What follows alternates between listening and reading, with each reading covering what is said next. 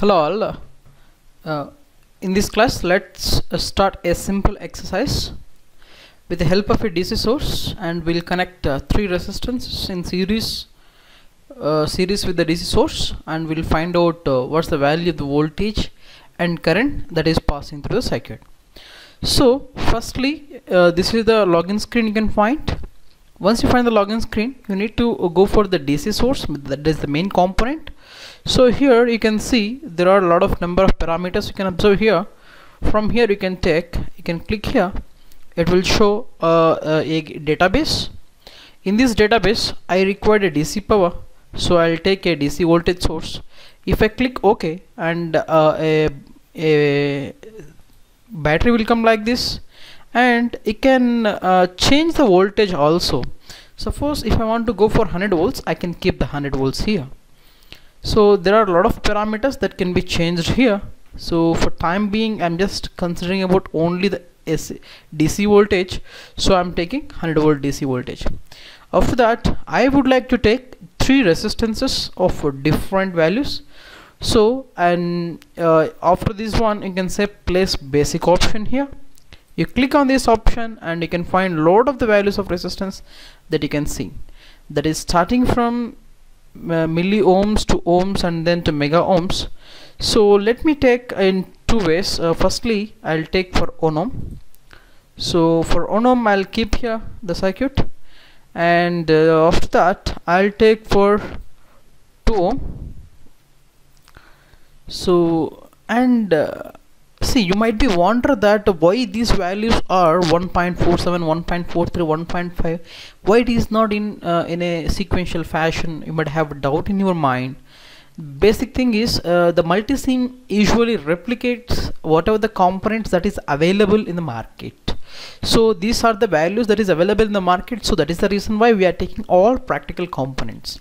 So for another thing I'll take uh, uh, 3 value 3 ohm of resistances and I'll keep here after keeping all these things let's close this uh, mm, close this and let's connect one after other. And let's connect one after other. Let's connect one after other. And then let's uh, uh, connect back to the source so uh, while uh, you are making any kind of circuit ground is mandatory. So let's uh, take the ground. So by clicking the basic option and you can see uh, there are a lot of parameters are there. In this one go for the sources. In the sources you can go for the ground and you can take the ground and you can connect the ground here. So our main aim here is to find out the current in the circuit so to find out the current in the circuit obviously we need to uh, connect a voltmeter in series the circuit. So for this just right here if you can see here you can click on it and you can get a equipment. So if you double click in it shows a multimeter. So here you are having various ranges a meter uh, means a current voltage uh, resistance for AC as well as DC you can find out so for time being what I want is I want to find out the value of the current. So I'll keep A. So as you know the ammeter is always connected in series with the circuit. So I'll uh, remove this part and the positive terminal I'll connect here and the negative terminal I'll connect here. So that if I take here the circuit so the ammeter is connected in series with it. So this is the multimeter or ammeter where you can connect so once you connect this uh, now you need to find out the value of the current that is flowing through the circuit. So for this just you need to run the run the circuit. So by pressing the run button. So once you run the button you can observe here that simulation is running. And you can double click it. And the value of the current is 16.66667 amperes. Now uh, uh, let me tell you how uh, whether this this is giving correct or not. You can cross check so by using our basic class i is equal to v by r let's take a calculator. In the calculator we need to connect v by r. So 100 is the voltage divided by r 1 plus 2 plus 3 since these are in 3 the effective resistance is r1 plus r2 plus r3 so 1 plus 2 plus 3 is uh, 6 so that is 16.66667 so if you see the meter 16.667 so both are coming correct. So this is how you can uh, find out. Also uh, one more thing you know in practical situations if you want to find out the how the waveform is coming you can go for directly the oscilloscope. You can see here you can see a Tektronix oscilloscope is there. You can take the oscilloscope here and uh, it's very difficult for you to see what kind of uh, components that's there in the oscillator.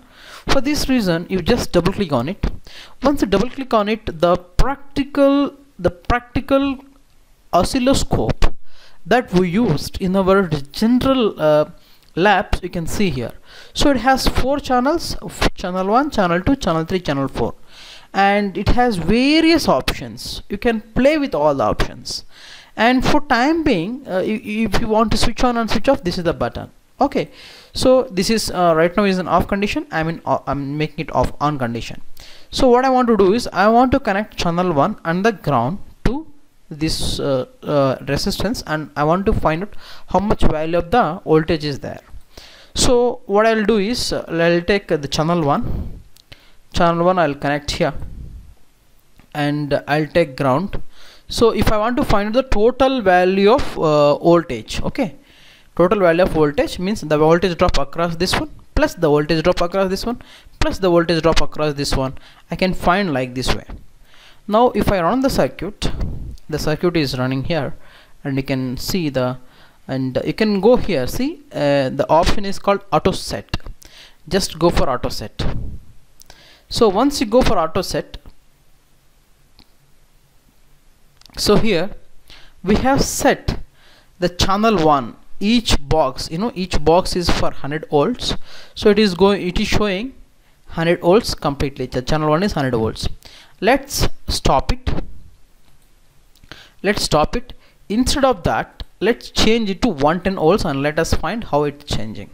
So I'm changing it to 110 volts okay? And I'm running the circuit again.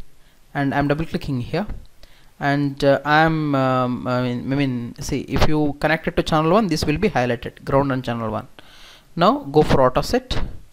And once you go for auto set it's showing the channel 1 voltage. That means each box see here you are observing no? This one box is 100 volts.